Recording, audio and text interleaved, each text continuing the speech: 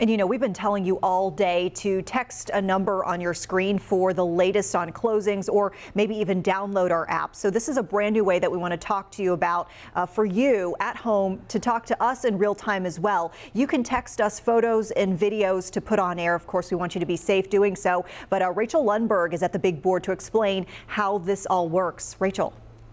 Hey guys, I'm loving this new feature. We have a whole department that's responding to you. So make sure you text us. Like today, everybody was texting the word closings to see when their kids' schools were getting out early. Well, now you can do the same thing for uh, seeing if they're going to have a delay in the morning or if they've canceled class altogether. This number, 704-329-3600, that's what it will always be. So just go ahead and save it as a contact like you would anybody else because we're friends, right? WCNC. Also, later on, if you get snow in your area or even right now, wherever you're at, if there's something to see, text us that same number, just a picture with your name and the location. Let me kind of walk you through how this looks. This is on my own cell phone. I did a screen grab. So you see, I texted the number, said the word closings, and immediately gave me that link for any closings in my area. Power gave me the link for the power outages connected to Duke. Texted the word app, gave me a link to download our WCNC app. Weather, like you may want today, to immediately see that live forecast and radar. It'll give you the link to do so as well as accidents in the area with traffic.